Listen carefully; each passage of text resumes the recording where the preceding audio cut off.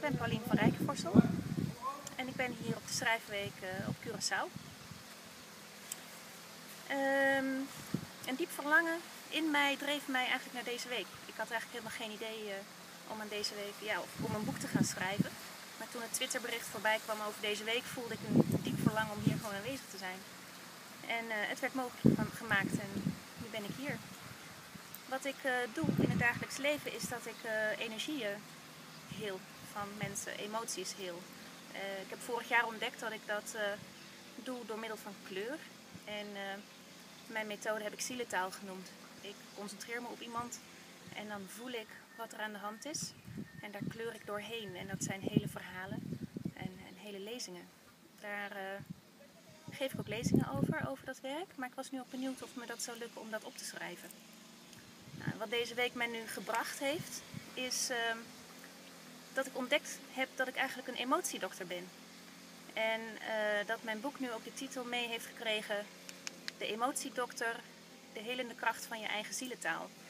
En dat is wat ik mensen mee wil geven: dat iedereen een eigen zielentaal heeft waar ze zichzelf mee kunnen helen. Um, en dat boek is daar een gids voor. En hoe ver ben je gekomen tijdens deze week? Heel ver. Um, ondanks alle leuke excursies en zo die we ook hebben gehad, heb ik toch nog wat tijd gevonden om te schrijven.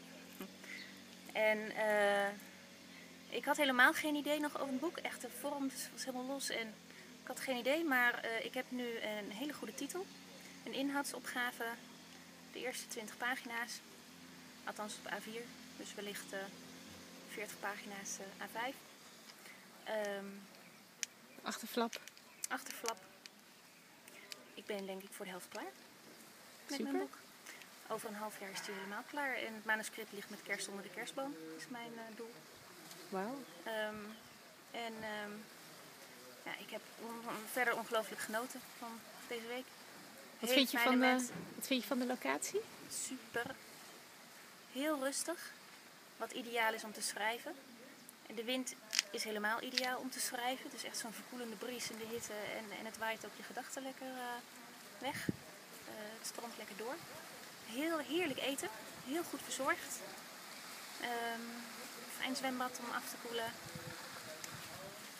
Het heeft alles wat je nodig hebt om uh, te schrijven en je terug te trekken.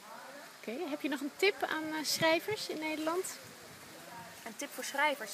Mijn tip zou zijn, um, ga gewoon schrijven. Ga dus niet bedenken wat je wil gaan schrijven of zo. Of misschien eerst die structuur te bedenken. Ik, ik ben gaan schrijven en toen ontstond er iets. En toen ik dat door ben gaan lezen, begon ik de structuur te zien.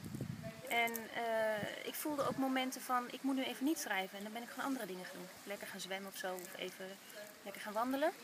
Um, en dan krijg je ook weer gewoon nieuwe inspiratie. Dan komt die flow om te gaan schrijven vanzelf weer uh, een keertje terug. En of dat nou midden in de nacht is, heb ik ook een keertje zitten doen. Of s ochtends vroeg. Maakt niet uit. En zo ontstaat dan je boek. Uiteindelijk.